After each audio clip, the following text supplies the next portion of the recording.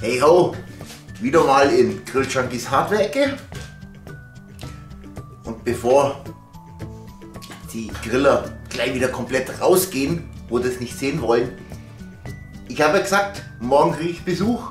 Da wird Hardcore gegrillt und ich denke, das werden die besten Videos von der Qualität her, wo äh, jemals auf meinem Kanal rausgekommen sind oder vielleicht auch rauskommen werden. Ich weiß es nicht, aber seid gespannt. Ja, okay. Und ein anderer Besuch kommt auch noch. Gut, was machen wir heute? Ähm, zum einen habe ich mich hier im Partyraum bereit gemacht. Im Hintergrund steht ja auch der Wiepin. Und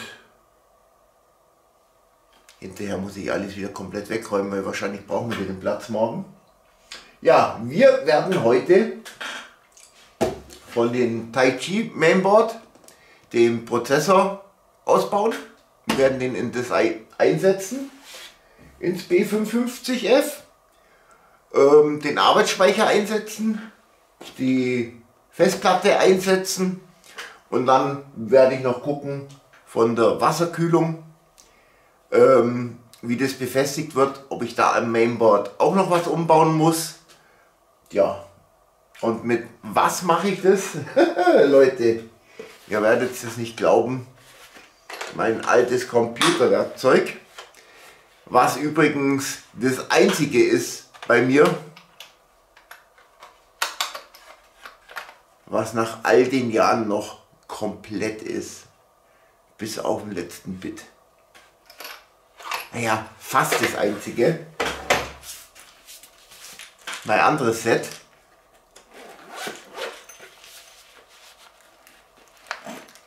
Na gut, da ist im Laufe der Jahre sogar noch was dazugekommen. Ähm, ich glaube, das ist auch noch ziemlich komplett. Da ist der Euschrauben. Ja, das ist noch komplett. Und wie gesagt, 20 Jahre habe ich das Zeug. Und mit dem werde ich hier dran arbeiten. Als allererstes sollte man sich ja immer entladen, wenn man solche Sachen macht. Ähm, die empfehlen in einer Steckdose am Schutz, Schutzleiter hinzulangen. Naja, ich kenne Elektroinstallationen, da ist auf dem Schutzleiter Strom drauf. Oder eben eine blanke Stelle an der Heizung oder dann so ein Armband, wo man geerdet ist und und und. Ganz ehrlich, habe ich noch nie darauf geachtet. So aufgeladen war ich noch nie.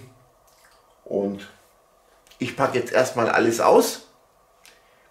Lass die Cam nebenbei im Schnelldurchlauf mitlaufen, dass ihr das einfach seht. Ja, und dann mache ich mich noch schlau, hole ich noch die Anleitung raus, lese mich ein bisschen schlau und dann bauen wir um. Attacke.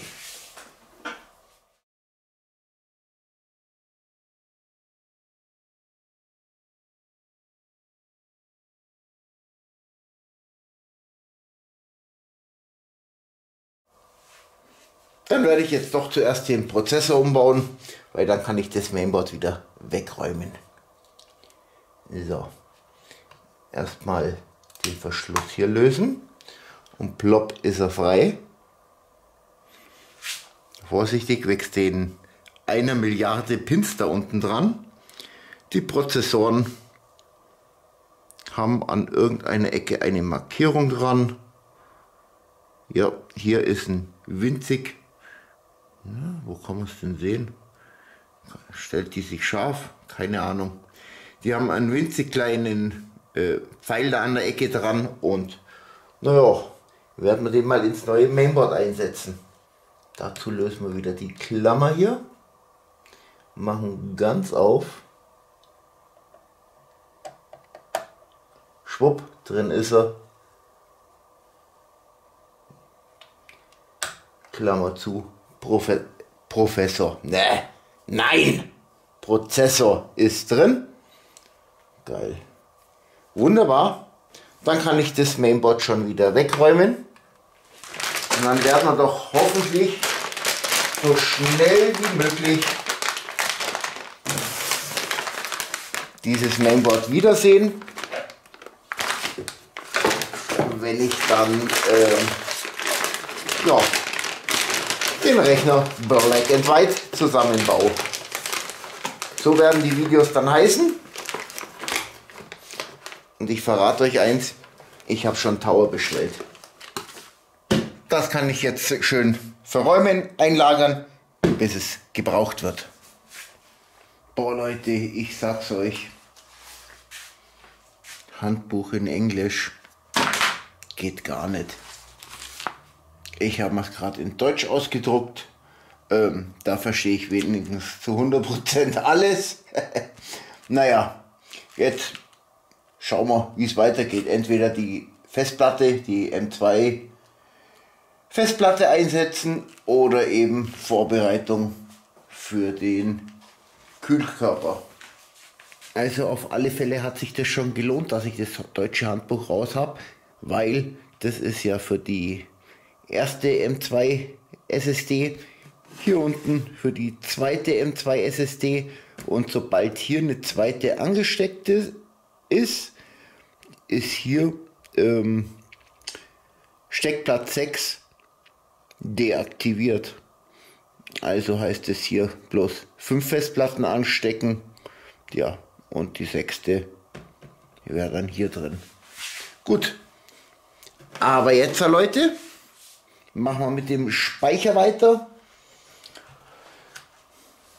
Vier Bänke, da empfiehlt sich auch ein Blick ins Handbuch, um zu wissen, wie sie gesteckt werden. Etwas verwirrend, sage ich jetzt einmal, weil ähm, DIM B1 und A1 hätte ich jetzt genommen, weil es am erster Stelle steht. Weil 1 ist für mich immer zuerst, aber nein. Bei zwei Speicherriegeln, na, geh auf. Und schon wieder eine Änderung. Früher waren beide zum Ausklinken. So.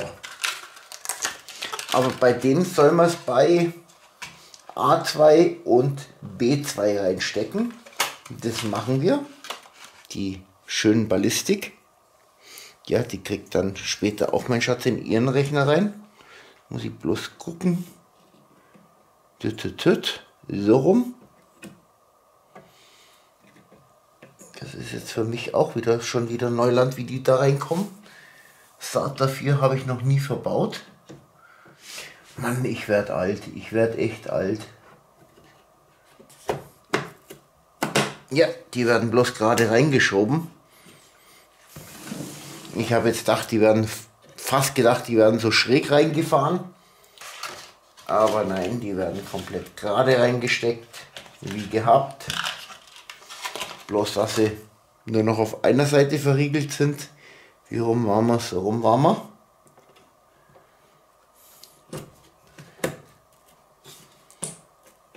Tja, im Laufe der Zeit ändert sich so viel an dem PC-Zeug.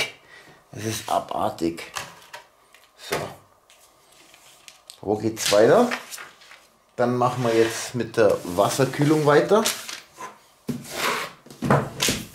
Zumindest mit der Grundinstallation.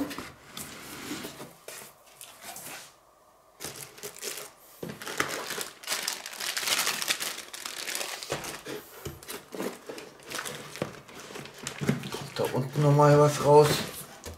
Nein, da kommt nichts mehr raus. Hey, da steht sogar was in Deutsch drin. Bla bla bla bla bla bla bla bla bla. Sehr schön, die schreiben es drauf. Der Rest kann weg, das brauchen wir momentan nicht. Wir möchten ja bloß vorbereiten, weil die Wasserkühlung selber wird dann erst ja, zum Schluss drauf geschraubt, würde ich sagen.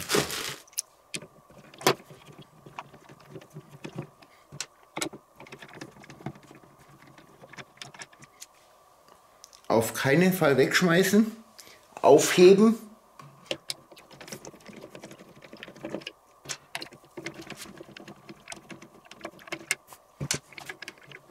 Aha. Dann werden die ganz einfach hier so drauf geschraubt. Da besorge ich mir jetzt einen passenden Schlüssel, um die mit einem ganz, ganz leichten Rucker noch festzuziehen. So, den vierten auch schon eingesetzt. Äh, Fünfer Schlüssel ist zu klein, Sechser eigentlich schon zu groß, aber wir wollen ja eh bloß ein, Kl ja, ein klitzekleines bisschen anziehen, also wirklich nicht fest. Zumindest nicht zu fest. So, das reicht schon. Ja, das wäre die Vorarbeit für einen Kühlkörper, für die Pumpe von der AIO. All-in-One Wasserkühlung, ich sag's nochmal. Ich habe es vorher auch nicht gewusst, was das heißen soll, sage ich ganz ehrlich. Der kommt dann drauf, wenn das Mainboard eingebaut ist und der Lüfter, ähm, der Radiator selber auch mit eingebaut wird, weil wäre ja Blödsinn, sonst wird das alles hier rumfliegen. Machen wir mit der NVMe M2 SSD weiter. Mal aufschrauben. Tja. Und jetzt habe ich vorher nämlich was gelesen. Das muss ich mal jetzt wieder hersuchen. Mit den zusätzlichen Gummipad, was da drin ist, mit einseitiger und zweiseitiger SSD. Und wenn wir schauen, ist die nur einseitig. Ob da jetzt noch ein zusätzlicher Gummipad drauf kommt oder nicht, wir wollen es ja richtig machen. Stellen Sie sicher, dass Sie das mitgelieferte M2 Gummipad anbringen, bevor Sie ein einseitiges M2 Speichergerät installieren. Also braucht man ein Gummipad.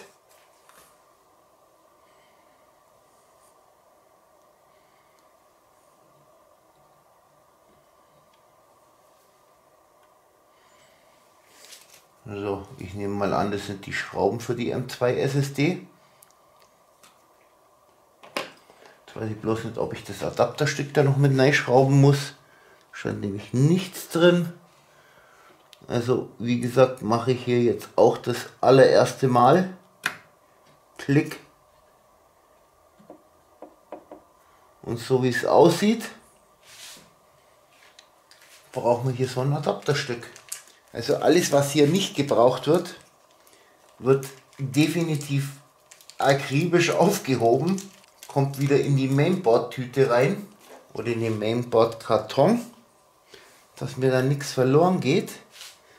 So, jetzt weiß ich auch, wie lang die ist. Kann ich die momentan noch mal rausziehen. Ziehe ich auch mit ganz, ganz viel Gefühl an.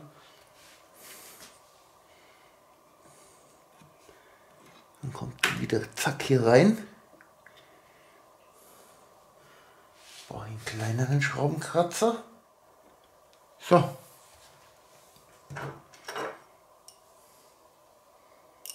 Der hier können die Schrauben eigentlich rausfallen. Hat ein Kühlpad auf der Rückseite drauf. Und wir jetzt die Schutzfolie abziehen. Also ich hätte ja vorher schon fast den Aufkleber hier runtergezogen. Raten Sie aber alle davon ab, äh, auch wegen Erlöschen der Garantie. Ähm, ja, viel Unterschied soll das nicht machen, ob das Kühl, ähm, der Aufkleber drauf ist oder nicht von der Kühlleistung. Also lassen wir den drauf. Und schrauben den Yoshi hier wieder fest. Sofern er denn überhaupt mag. So. Ja, Freunde. Wo andere fünf Minuten dafür brauchen, habe ich jetzt eine ganze Weile gebraucht. Eben weil ich mich sicherheitshalber schlau gelesen habe. Man will ja nichts verkehrt machen.